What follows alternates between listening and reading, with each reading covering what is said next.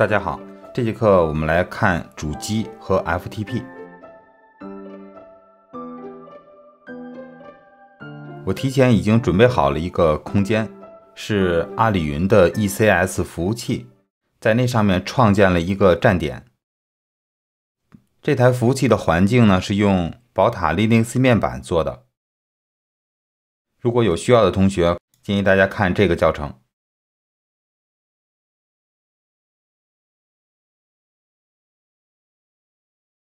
简单的说一下，WordPress 可以安装在虚拟主机上，也可以安装在服务器上。一般做网站都会遇到这两种主机：虚拟主机或者是服务器。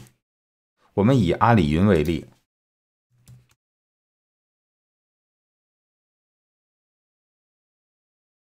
进入阿里云网站，鼠标放在产品上，搜索主机。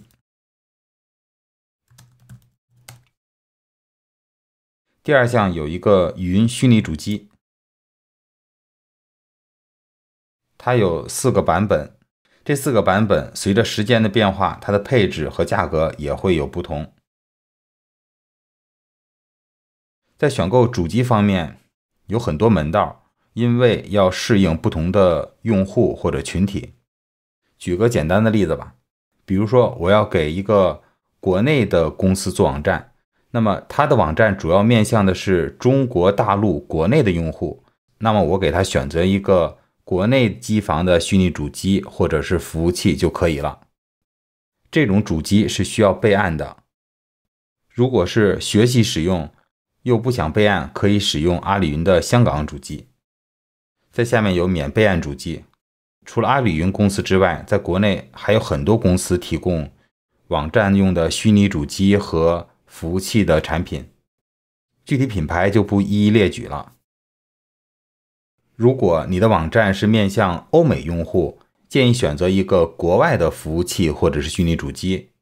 具体选择什么样的，我建议大家到群里问一下，这方面我的经验不多。不管是国内的还是国外的服务器的品牌，它都有两种产品，一个是虚拟主机，另外一个是服务器。如果是虚拟主机的话，它会有很多限制，但是便宜，易操作，用户不用修改很多东西，想改也改不了。如果是服务器呢，就需要自己搭建环境，比如说宝塔 Linux 面板环境。服务器的价格一般都比虚拟主机的价格要高，另外对于使用者来说门槛也要高一些。但是它带来的好处就是它可以。手动去配置 PHP 点 ni 之类的文件，可以让服务器更好的支持 WordPress 和 Avada 主题，甚至 WooCommerce 插件。因为 WordPress、Avada 还有 WooCommerce 等等很多插件是比较吃配置的。这个配置呢，不单是服务器的硬件配置，比如说 CPU、内存、硬盘之类的，更重要的是服务器环境的参数。比如说 PHP 点 ini 数据库 MySQL 的 ini，还有 Nginx 的一些配置，还有一些优化之类的东西，比如说 Memcache 的。好了，先说到这儿，我们回到之前创建的站点，我们用 wp 点建站一点 cn 这个二级域名作为这个网站的主域名。关于域名这块儿，跟大家普及一下。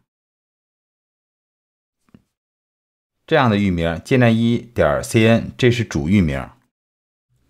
三 w 点建站一点 cn，这个是三 w 的二级域名。wp 点建站一点 cn，这也是二级域名。这些二级域名都可以绑定到不同的虚机或者服务器上。那么这个域名已经绑到了这台服务器上，并且在这服务器上已经做了一些设置。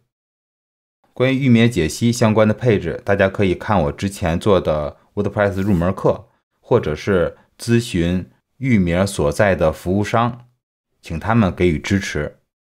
因为每家主题的域名的操作面板和主机的操作面板都是不一样的。这节课的时间差不多了，就到这里，下节课再讲 FTP。